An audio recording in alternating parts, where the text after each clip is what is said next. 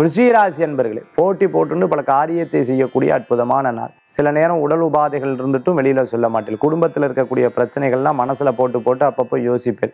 அந்த யோசிக்கிறதுனால என்ன பிரயோஜனம் பார்த்தீங்கன்னா உடல் ஆரோக்கியம் தான் கெடும். அதனால் முடிஞ்ச வரைக்கும் யோசிக்கக்கூடிய விஷயத்தை பாசிட்டிவாக நீங்களே மாற்றிக்கிறது ரொம்ப நல்லது. நாலு பேர்கிட்ட பேசுறது ஏதேனும் உங்களுக்கு புதுசாக இசை கற்றுக்கலாம் அல்லது லாங்குவேஜ் ஸ்கில் கற்றுக்கலாம் இல்லைன்னா ஏதோ ஒன்று பயிற்சி வகுப்புக்கு போகலாம் இல்லைன்னா வாக்கிங் போகும்போது நிறைய நண்பர்கள் கூட சேரலாம். இது போன்ற விஷயங்கள் உங்களுக்கு மன மாறுதலையும் மன ஆறுதலையும் கொடுக்கக்கூடியதாக இருந்துருக்கும் இன்றைய தினத்தில் அனுஷம் கேட்ட நட்சத்திரத்தில் இருக்கிறவாளுக்கு இரவு நேர பிரயாணமும் யாருக்கிட்டேயும் அதாவது உங்கள் ராசியாக உங்கள் நட்சத்திரமாக இருந்தால் அவகிட்ட பேசுகிறத அறவே தவிர்த்துக்கிறது நல்லது.